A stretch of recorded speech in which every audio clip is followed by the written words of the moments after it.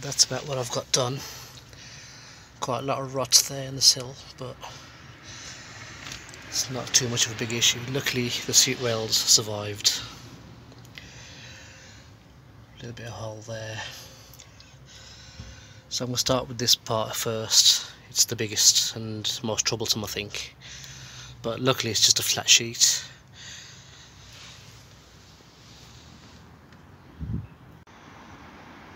So with some help with some CAD, that's cardboard aided design, I've made my template and I'm going to be transferring that to some sheet metal. So I've bought 1.5 mil thick sheet metal, so I'm going to be transferring this.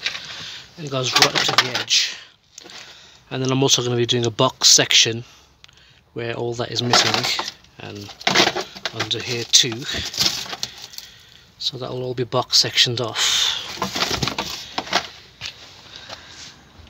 So let's get to it.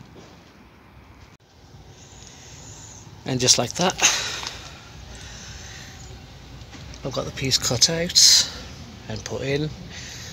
Uh, still need some finessing around there to make it fit a bit tighter. I'll be rust treating all of this and where there's a hole I'll be patching it up. Um, yeah, I'm happy with it.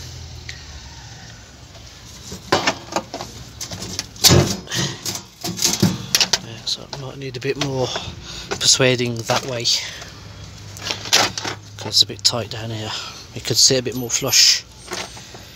But we'll cross that bridge when we come to it. So all that is going to be rust treated. Uh, the floor is not in permanently just yet. Bit of finagling and recessing some contours there. Uh, gets a bit better there and in there uh, while that's waiting, I'll do the rest of the panels. Little patch panels, so that one's been cut out. That's actually good metal right there, you can see. Just a bit of surface rust. So what I'll be doing is putting that piece in there and then butt welding that in and then welding all those grind marks where I've overcut. So that's been shaped to the floor so once I've got all that done I'll start on the passenger side. All of that stuff. It's not too bad on that side to be honest. Um, I'll tell you what's bad. Having to cut out all of this that's bad. So I've cut it up to where it's strong metal. You can hear the different tones. So got to be careful because the fuel tank is just here. Um, the next step would be taking off that side skirt or that little rear apron. So all along there and then getting better access to it. Uh, this is all good metal down here. So, and that's all the rust and rot that came out.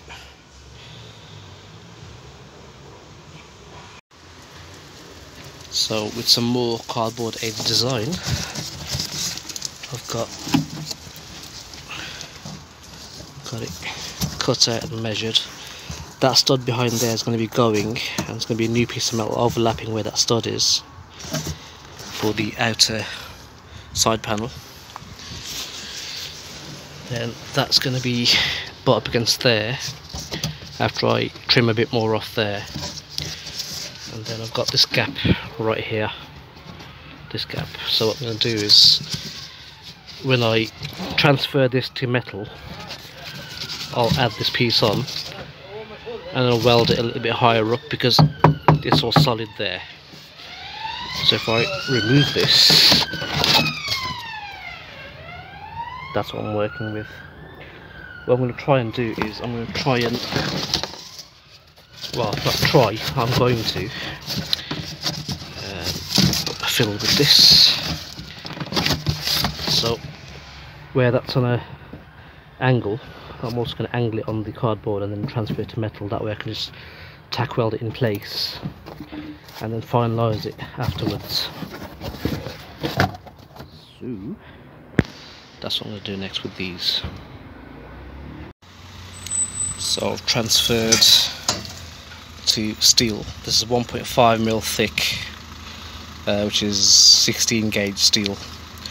So I've measured across there, and that's that measurement there. So that's going to be flat.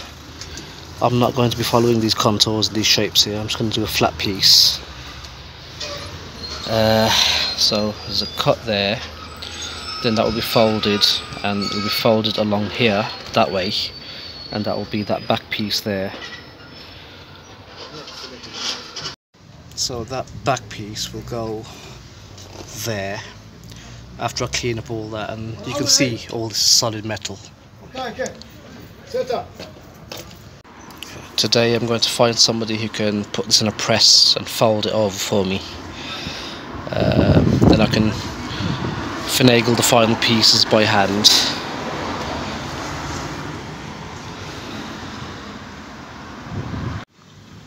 I've got that piece folded and I've got it on a 90 on one side and about 80 on the other side. Now I need to fold it across there. All you need is help of a machine shop and you're good to go. So now I'm going to try and get that folded in or sat in the car. That'll be in the next clip in three. That's three. Is that three? That's three. Three, two, one. There. So I've got it cut, I've got it shaped. Uh, probably can't see it too well because there's not enough illumination in here. That piece is curved around. Um, I'm going to put some self tappers in there to hold it for for the meantime. And then on the back, what I'm going to do is I'm going to fold that up so it matches and touches the, the back panel there. So that will be slit and folded up. I'm going to get underneath the car. Sorry.